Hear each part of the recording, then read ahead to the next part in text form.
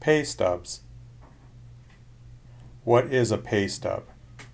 A pay stub is a record of hours worked, taxes paid, other deductions, sick and vacation leave.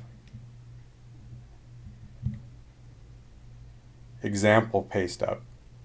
Pay stubs will look a little different, but the same basic information is there.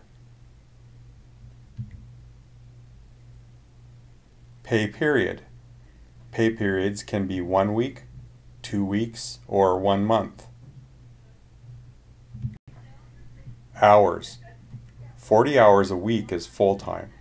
Less than 40 hours is regular hours. More than 40 hours is called overtime. Income.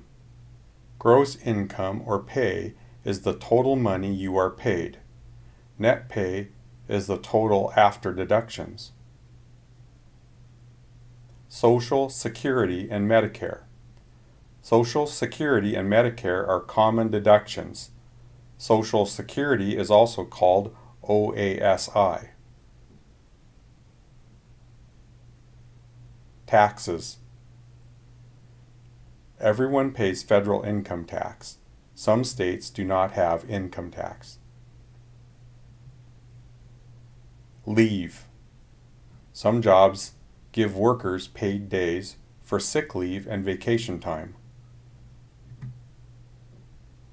Insurance.